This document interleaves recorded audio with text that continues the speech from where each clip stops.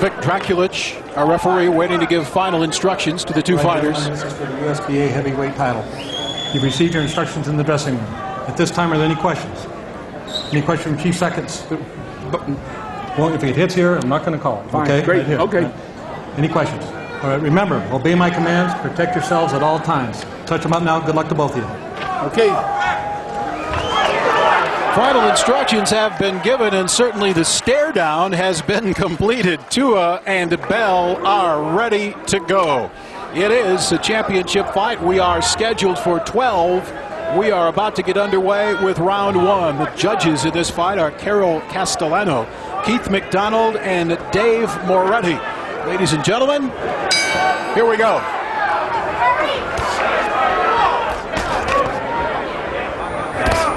Both fighters, as you can see, wearing mostly black. Tua with the red trim and just a bit of white trim on Gary Bell's trunks and the action early on.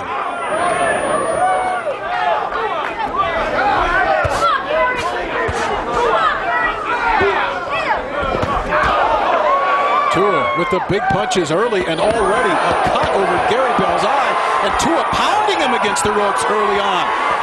Bell with very little defense early in round one. Bell severely cut at this point, it would appear, and already a stoppage.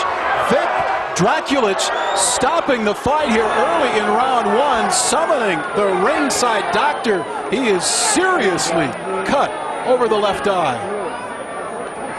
That would appear to be a gaping gash and in a very, very bad place because that blood will run into his eye.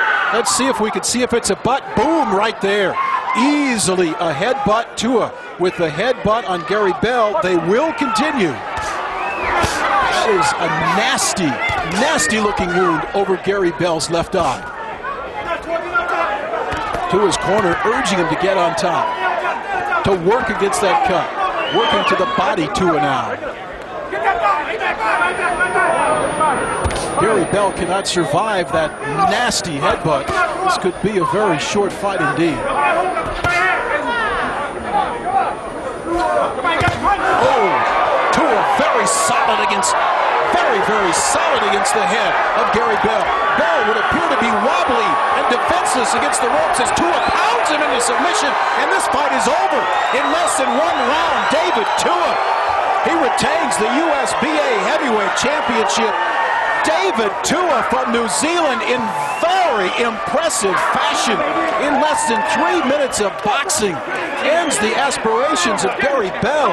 The Bell still wobbly in his corner looking for a stool to sit down on.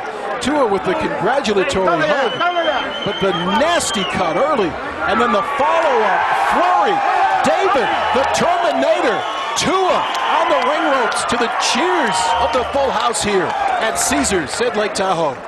Tua running his record now to 34 and 1 with 29 knockouts. The end of the fight. We have it for you on replay, and you will see Tua just throwing a variety of punches, the very solid combinations. And Tua ending the fight in less than one round. Very, very, very impressive. And again, there is a close up look at an ugly cut raised early by a headbutt over Gary Bell's eye. And Tua moving in for the kill with the big right hand, a left, another left, and a right. Those punches all landing.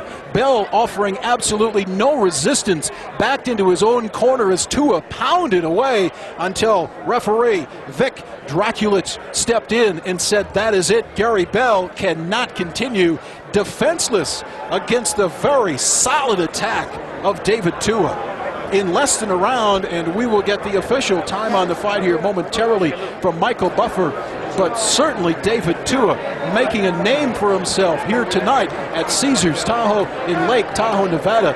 Again, another look at the solid flurry, the uncontested flurry, if you will, as Gary Bell offered absolutely nothing in return as Tua pounded away at will for seemingly 10 to 12 seconds before the referee stepped in to stop the fight.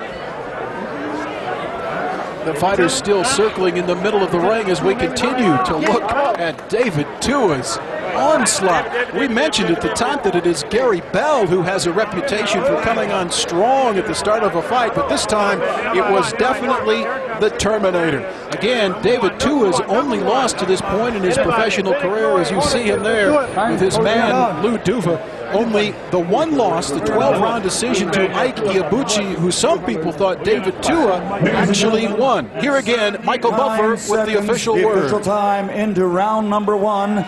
Referee Vic Drakulich calls a halt to the bout. The winner by knockout victory. His record now 34 victories, 29 KOs, and he is still the USBA heavyweight champion, the Tuamanator, David Tua. David Tua making the home folks in Auckland, New Zealand, no doubt very proud here tonight. Invincible in this fight. Boy, oh boy, David Tua certainly impressive. And I wonder if he's thinking back to his days as a child. The story goes, and of course, these things grow as they are told and told. But supposedly, Tua showed promise early as a boxer, and his father used to actually recruit men for David Tua as a young man to fight with Larry Merchant now and David Tua. First of all, for Taylor Tour, well, continue that longer. And uh, What did you just say? well, I said, you know, thank God, everything worked out great, and I dedicate this uh, this uh, this fight here to uh, uh, soul brother Mark Tuine. He rest in peace, brother. All right, all right. This started, David, with a cut that was caused by a butt. Did you feel that? I mean, were you both coming forward? And you take a look at it here and describe to us what you see. Well, I knew he was he was coming he was coming in. I, I- I actually didn't think he was going to come in, you know, to fight. You know, I actually thought he was going to come out with the style of, of a rockman, you know, throwing the jab and moving around. But you know, I was surprised, and therefore, you know, I'm, I'm a guy that stays low, that use my weight, use my legs, and uh, you know, those things happen. But um, I'm happy that everything worked out great. All right, tell us, David. In the past, you've had some uh, early knockouts, sometimes against some pretty good fighters, but on other occasions, you've started rather slow and given your opponents a chance to, f- to find a rhythm and to feel that they can outwit you. D- Do you want to change that now? I told you yesterday, you know, at the HBO meeting that, uh, you know, I, I guarantee you this is going to be a different David Tua, and I came out and I proved it. I'm number one in the world, and I'll fight anybody. Anybody. Fight anybody. Holyfield, Lewis, anybody. All right, David, let me raise the subject of your weight. Obviously, you weren't feeling that this man was a serious threat as Rahman because when you fought Rahman, you weighed 13 pounds less. Is that a dangerous game to get into? No, like I said, you know, I'm, I'm 26 now, and I feel that at, at this late stage of my of my life and my career, that my body's matured. You know, I put on more muscle and less fat, and I feel that I'm, I'm, I'm still got my, my quickness, I'm still got my power, and, and that's that's all that matters. All right, it, it, it may be all that matters in the ring, but but we have the memory of an outstanding fighter, Riddick Bowe, who weakened himself by going up and down in weight severely. Uh, I've heard you went up as high as 275, 280 after the Rahman fight. Uh, it, can this be a problem down the road for you? To be totally honest, I can't speak for the other fighters. You know, David Tua is David Tua, and uh, whatever makes David Tua feel feel better and, and feel comfortable, you know, I got to do what I got to do.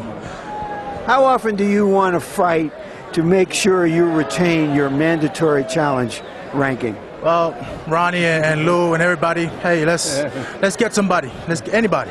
Do you want to fight somebody better than your opponent tonight? Or are you freezing the ball, as we say in America, and, and just holding on to your ranking? Bring it on, bring it on. You know, uh, my job, like I've always said, my job is to fight, be the best I can be, and, and, and do better in every fight. And talk to Lou, talk to Ronnie, talk to Kevin, and you know, th- those are the guys that make the matches. I got to go out there and perform. And uh, hey, he just had the operation on his knee, and uh, I got to help you out, Lou.